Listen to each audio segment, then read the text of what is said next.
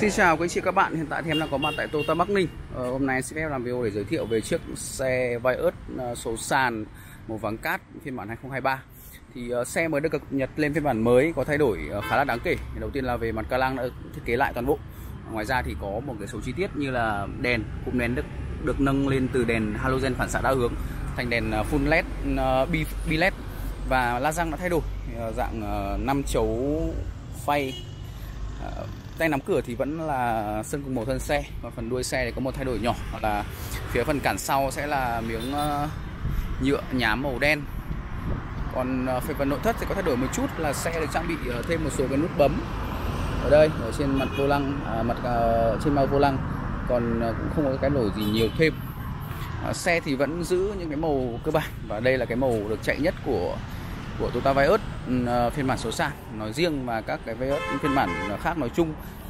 Vios thì ờ, ờ, cái giá của phiên bản, mới này vẫn cùng chung phân khúc với cả phiên bản cũ khoảng dưới 500 triệu.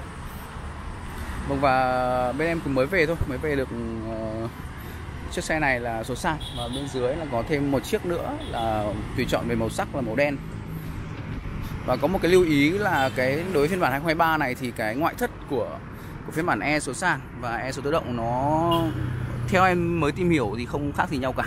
Em cũng có tìm ra điểm khác biệt để nếu mà đi ngoài đường nhận biết nhưng tuy nhiên là cũng, cũng không nhận biết được. Hiện tại thì em vẫn chưa biết phân biệt ở, ở cái điểm nào với E số tự động và E số sàn. Ờ, à, phần nội thất thì mình sẽ phân biệt được về ghế về uh, số uh, về ghế cũng như là về cái, cái cần số mình sẽ phân biệt được. Tuy nhiên là về ngoại thất thì đến hiện tại thì vẫn chưa chưa phân biệt được.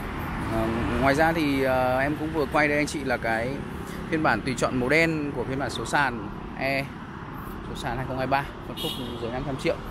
À, và dự đoán là xe vẫn giữ nguyên giá uh, phiên bản hiện tại với phiên bản 2023 thôi. À, vừa rồi thì em đã quay nhanh cho anh chị về chiếc xe uh, Toyota Vios phiên bản uh, số sàn 2023 anh chị nào còn em tư vấn thêm về các vấn đề khác ờ, thì liên hệ giúp em qua số line trên màn hình. Em xin phép hẹn anh chị video tiếp theo. Xin chào và hẹn gặp lại.